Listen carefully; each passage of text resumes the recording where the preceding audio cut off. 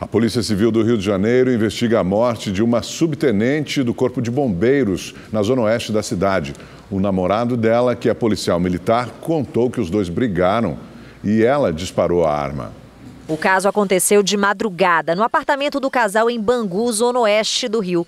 Quem chamou a polícia foi o namorado da vítima, o policial militar Felipe Perosini. Ele contou que a namorada estava em uma festa e, ao chegar em casa, eles brigaram. Durante a discussão, a mulher pegou a arma dele e fez um disparo contra a cabeça. Ela morreu na hora. Diana Brasil Tenório, de 38 anos, era subtenente do Corpo de Bombeiros e atuava como auxiliar de consultório dentário na corporação.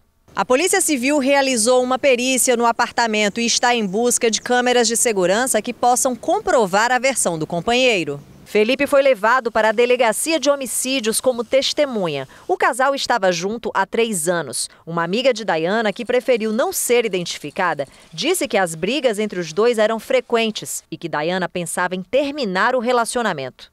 Uma pessoa alegre, feliz, ela não tinha motivo nenhum para fazer algo contra a vida dela. Enfim, passional. Feminicídio. Ela já estava decidida a se separar. Ela hoje chegou na minha casa dizendo que estava decidida.